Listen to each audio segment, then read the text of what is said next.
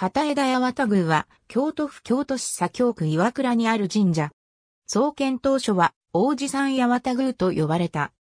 社殿によれば、歌天皇の治世の894年に、白木が日本に攻め入ろうとしているという噂が流れていた頃、旗枝の地に大地明道が起こった。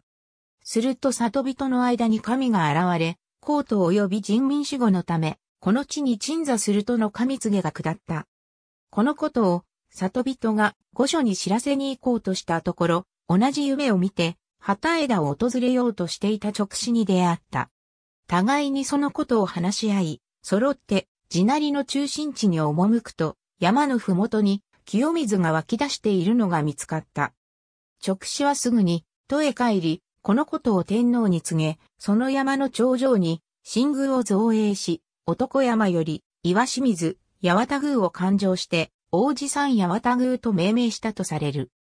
王子山八幡宮は、旗枝、鉾枝、福江の三地域の鎮守者となり、そのうちの旗枝は、八幡の枝分かれとして、旗枝と称するようになり、王子山八幡宮も、旗枝八幡宮と呼ばれるようになった。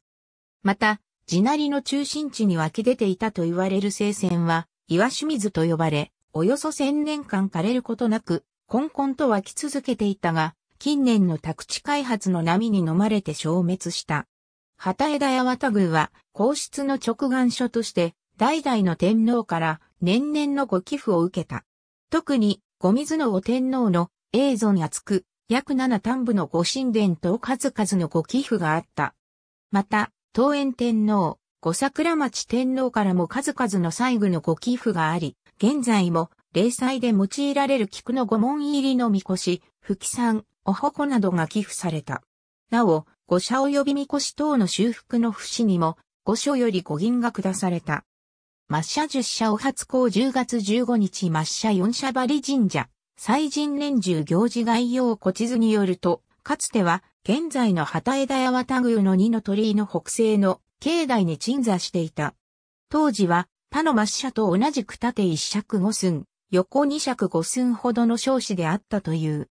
しかし、明治12年に現在の位置に潜座し、針省の針神社信仰者9名からの申し出により、間口2軒、奥行き2軒半、高さ8尺の河原武器省が増築された。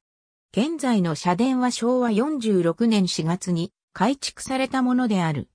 創建については、諸説あり、明確ではないが、元京都御所にあったものを旗枝に移したと言われる。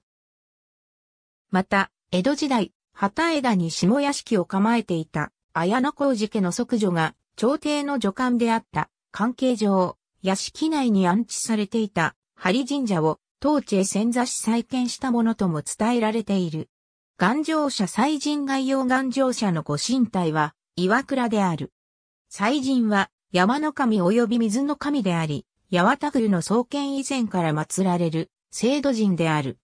また、八幡宮の鎮座する、八幡山は円錐型で、古来より、神ナビ山であったことが伺われる。ありがとうございます。